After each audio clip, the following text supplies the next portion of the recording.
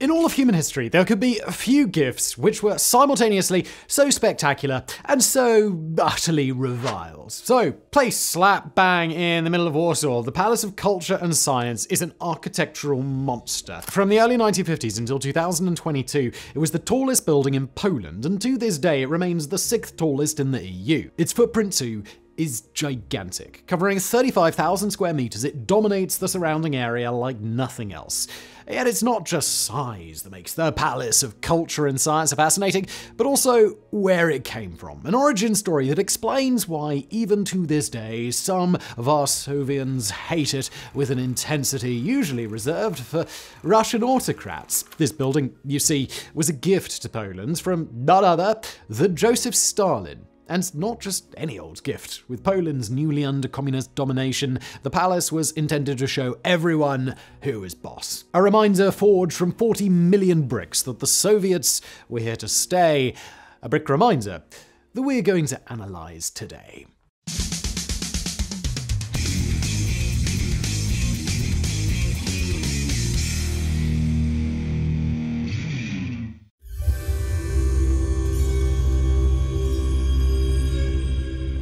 Ask most people in the world to point you in the direction of Peking, and they'll probably get confused and assume you're using the old fashioned name for the Chinese capital of Beijing. But not in Warsaw. Here in Poland's seat of government, everyone always knows where Peking is. It's dominating the skyline gazing down impassively on the city that it's towered over for nearly 70 years. That's because Peking is just one of the many nicknames for the Palach Kulturny i Naukny, a play on the acronym PKIN. Others over the years have included the Nightmare of a Drunken Confectioner and an upright towering outhouse. But we prefer to use the original name, the one it first opened under in 1955, the one that shows just how times have changed in Poland. The full name of the Palace of Culture and Science in the name of Joseph Stalin. Exactly how Warsaw, a city over 1,150 kilometers from Moscow, came to house a building named after one of the 20th century's worst dictators is a fascinating story and one that we're going to cover in the next chapter. For now, though, we simply want to introduce you to today's subject, to the great white elephant, the USSR gifted Poland. Now, the first thing to note is that just like an actual elephant, everything about the palace is gigantic. With over 3,000 rooms spread across 42 floors, the palace sweeps up into the sky from base to roof, measuring 188 meters, that's over 600 square feet. Add in the spire, and the whole structure tops out at a giddying 237 meters. Now, if you're from New York, then that might not sound so big. The Empire State Building is over 200 meters taller, including its antenna, and it's been decades since that was even the tallest building in New York City. By European Union standards, though, well, the palace is a monster. Only five buildings in the EU are taller, and three of them uh, were built this century. In terms of Poland, the palace only relinquished its crown in 2022 with the opening of the nearby Warsaw Tower. So, yeah, it's a big deal in European terms, a big deal that's also reflected in its total volume of 815,000 cubic meters.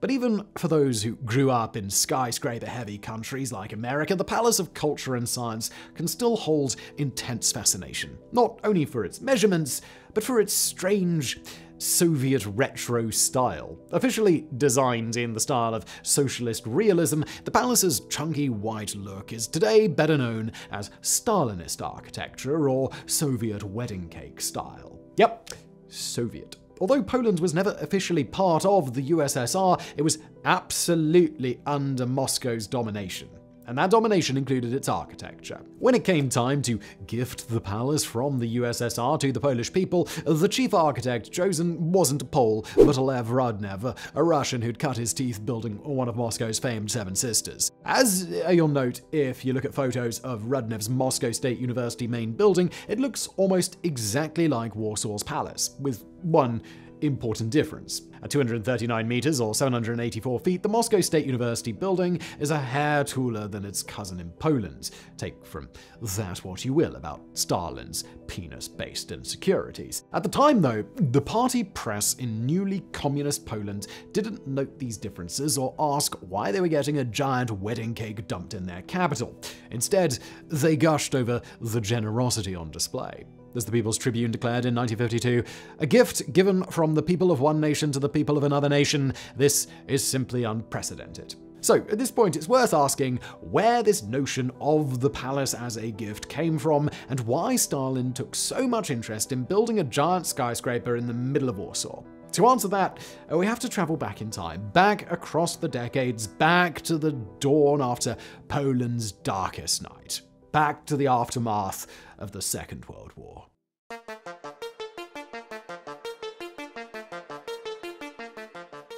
While World War II was a catastrophe for many nations, in Poland the destruction reached another level. All across this great and ancient land, cities that had stood for centuries vanished in puffs of red brick dust. Architectural marvels dating to medieval times were burned, looted, torn down, or blown up, leaving only bitter memories in their wake. The city that suffered most of all was Warsaw. Now, we already did a whole video on the World War II destruction and the rebuilding of Warsaw, so we're not going to repeat all of the details in this one.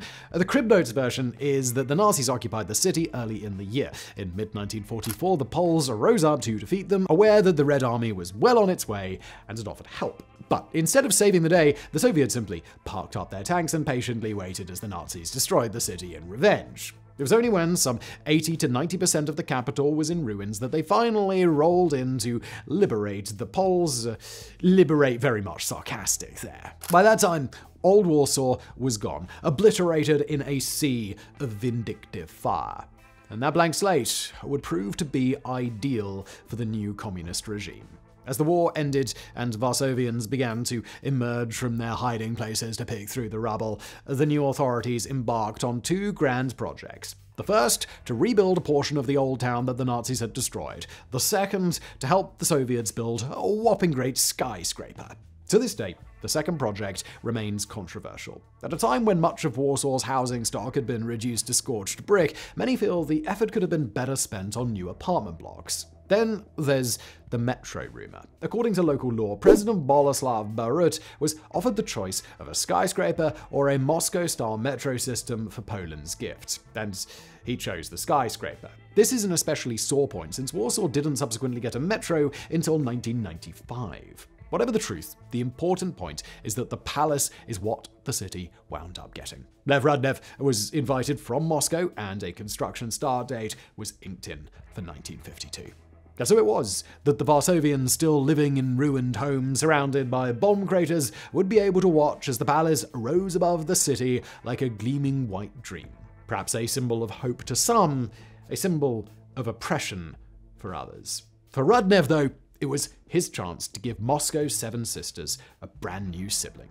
As the architect behind the Moscow State University main building, Rudnev was fairly open about wanting to build a near copy, a great Stalinist folly on a steel frame. But it wouldn't be enough to just create an identical twin to his Russian masterpiece. In the hopes of infusing his new creation with national motifs, Rudnev uh, would work in conjunction with a team of Polish architects. In some ways, this arrangement would foster a spirit of true collaboration. Rudnev was taken around a few old towns to survive the Nazi bombs, immortal cities such as Krakow and Zamość, where he took ideas from Polish styles, incorporating stuff like Renaissance-style pointed parapets. It also led to the inclusion of a host of statues, both celebrating real Polish historical figures like Copernicus, as well as idealized images of Polish workers striving to build a communist paradise.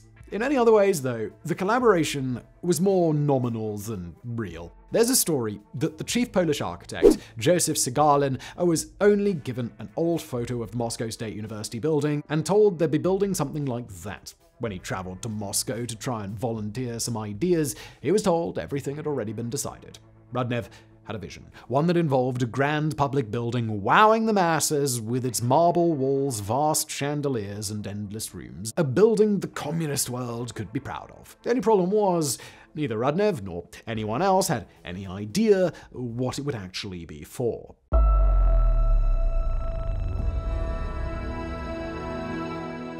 Hard as it is to believe now, construction began on the palace before its exact uses had been agreed on. Sure, it was to be a public space, and sure, some of the areas, like the Congress Hall, theatres, sports halls, and swimming pool, clearly had a predefined function, but a surprising amount of space was just put aside, safe in the knowledge that the party would eventually figure out what to do with it. And it's not like they could back out on the project now. To make room for the combined palace and parade ground, 3.3 hectares of damaged housing stock on the edge of the old Jewish ghetto had already been demolished and swept aside. And then there were the Soviet workers. While 4,000 Poles would work on the construction site at various times, the core building team comprised of 3,500 workers brought in from the USSR.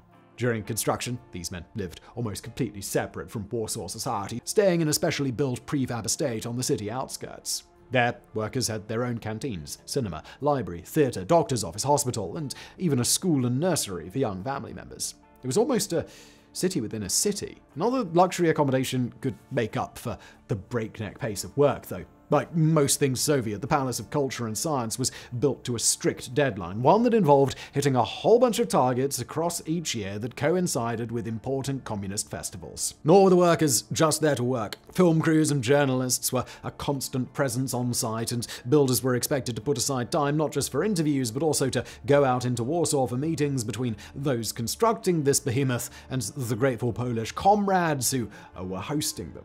All of this overwork might help explain the 16 fatalities recorded during construction. And while that's a relatively small number, it's still 11 more than died building the much taller Empire State Building two decades earlier. Still, the main goal of getting the project finished at high speed would be a hit. It took just three years for the gleaming white palace to rise out of the ruined slums of post war Warsaw, a spectacular achievement when you consider the material involved. Creating the skyscraper's frame required 26,000 tons of steel. Around this frame came 40 million bricks. Ungodly numbers of tiles, too, were used on the outer walls, each one manufactured over 2,000 kilometers away, that's 1,500 miles, in a remote part of the Ural Mountains and shipped to Poland. Originally, these tiles were the purest white. As the decades passed, though, Warsaw's air pollution would subtly stain them, giving the palace its off-white, creamy color that it has today. Marble, too, had to be shipped in from far afield. A contemporary New York Times article claims that it was brought in from Crimea in the Caucasus Mountains, although uh, we've read more recent sources that say that the marble is actually fake. Or whatever the marble's origins, though, it's hard to argue that the end result is anything but impressive. The Palace of Culture and Science was officially finished in the summer of 1955. On July the 21st, there was a handover ceremony gifting the monster building from the USSR to Poland in perpetuity. What Poland got that day was a building unlike any other. Love it or loathe it, the palace was mass luxury on a scale few people had ever witnessed before. Inside, great chandeliers looked over vast chambers that could fit thousands of people, chambers between which ran great tiled corridors lined with pillars. Corridors leading sometimes to opulent rooms, sometimes to sports arenas, sometimes to cinemas.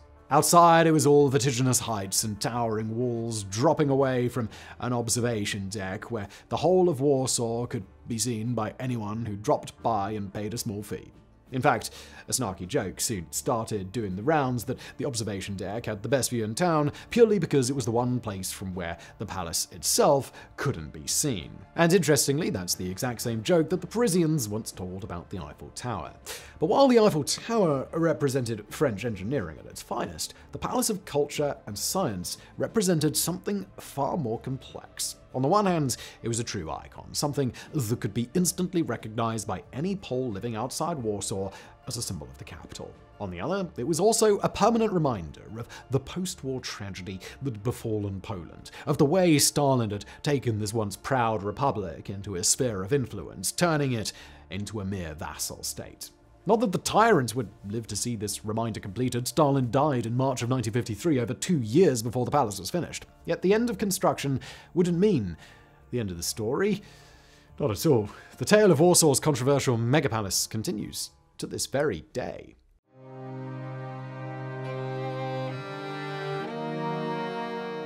It was only a little over a year after the palace opened that it experienced its first significant change. By February of 1956, Soviet leader Nikita Khrushchev gave his secret speech denouncing Stalin's excesses for the first time. By November of that year, the ripple effects had spread so far that Warsaw's leaders felt empowered to change the palace's name, removing all references to the murderous dictator. The thaw, which followed the secret speech, also saw Poles openly questioning the purpose of the palace for the first time, asking why the money hadn't been ploughed into houses for those left homeless by the war, questioning the wisdom of a giant monument to Poland's oppression. Still, unlike Stalin's name, the palace itself was simply too big to just be quietly erased. Like it or not, Warsavians would have to live with it.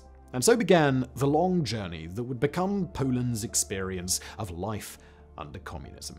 Interestingly, this experience wasn't as purely grey and joyless as you might assume. Prior to the declaration of martial law in 1981, Poland had a relatively open regime. The keyword there being relatively, one that allowed a little more colour in everyday life. Examples of this can be seen by browsing the history of the Palace of Culture, like how on April 14, 1967, the Congress Hall was turned into a concert venue with the Rolling Stones playing to thousands of besuited young party members. This was over a decade before Western acts began to trickle into the Soviet Union. Nor were the Stones the only ones to party in Warsaw's eyesore. Every year, the authorities threw vast New Year's bashes in the palace's grand halls, bashes that saw workers invited from across socialist Poland to get drunk and party in the capital. On the slightly more staid and respectable end of the scale, the palace uh, would also be the site of a mass religious service in 1987 when Pope John Paul II led thousands of local Catholics in prayers from the main entrance.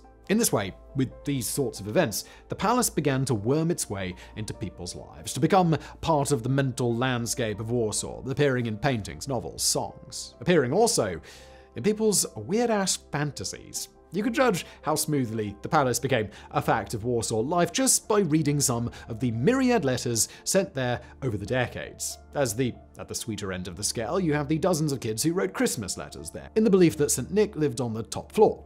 At the utterly batshit crazy end, you have an angry woman who wrote in to declare that the television antenna was forcing her to experience involuntary orgasms. Yes, really. Yet, for all of its seeming solidity, the palace very nearly didn't survive the greatest upheaval of all the collapse of communism in Poland. The transition from socialist dictatorship to democracy saw a major reassessment of the Stalinist wedding cake in the center of Warsaw. While some wanted to preserve and celebrate it, even adding it to the Registry of Objects of Cultural Heritage in 2007, others simply wanted to destroy it. Things all came to a head in 2009 when then Foreign Minister Radoslaw Sikorski pushed hard for tearing the whole thing down in what he said would be a moment of catharsis. According to Sikorski, the building was wasteful regarding energy, eye-wateringly expensive to keep functional, and a reminder not of Rolling Stones concerts and weird orgasm women, but decades of oppression. In his opinion, it would have been much better to instead, to quote, have a park with a pond where the inhabitants of Warsaw could go for a picnic. At the time, there was a very real threat that Sikorski's plan would be acted on, that the palace uh, would soon be pulled down and replaced with something befitting a truly independent Poland. But the moment passed. No demolition no agreement was ever reached. And so the palace simply continued to stand there, as it had for decades, watching over Warsaw with an air of either benign interest or menace, depending on your point of view.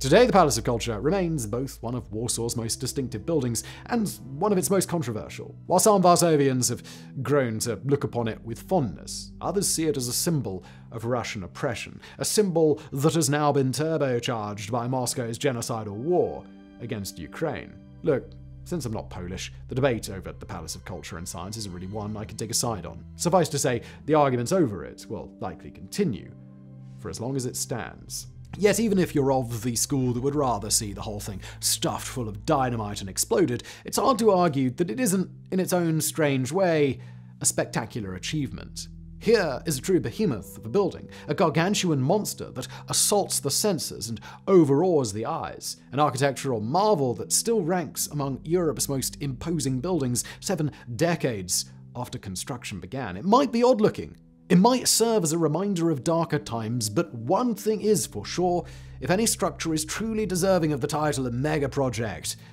it's Warsaw's bizarre skyscraper palace.